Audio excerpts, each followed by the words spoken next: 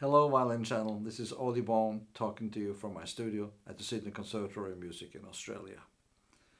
In the previous lessons we have talked about the wrist vibrato and the arm vibrato. Today I would like to talk to you a little bit about the finger vibrato. A vibrato we don't use alone but in combination with other types of vibrato. A finger vibrato is a vertical movement. So it goes from the finger up and down on the string. So how do I practice it? Well, I practice it in the following way. I put the finger firm on the string and then I lift it very quickly to harmonic and back to the firm.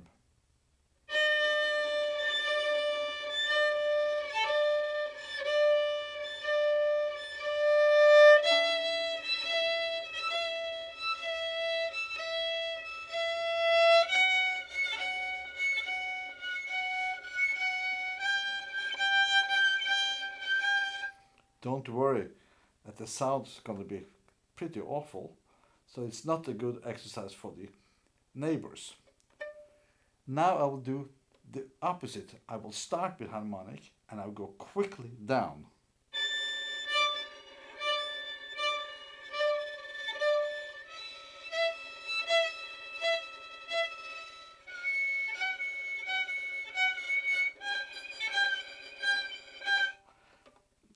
After I've done this, I will make a quick movement downwards and upwards.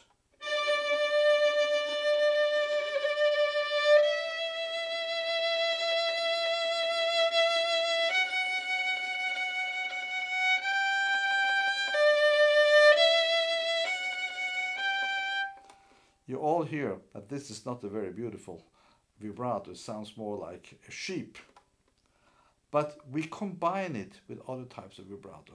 So for instance, if your wrist vibrato is very wide, we put a little bit of the finger vibrato to make it narrower. I can show you. So if I make a very wide wrist vibrato,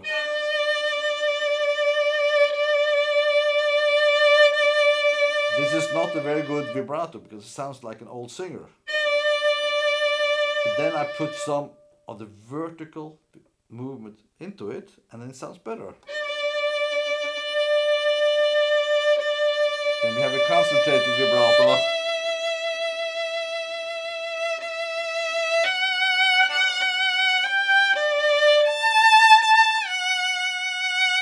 Still have both vibrato. Here's wide. This is the finger vibrato. I, I combine them. With this combination I can do it with also with the arm vibrato and here we open up for having many colors in our playing. I will get back to you about this in the next lesson.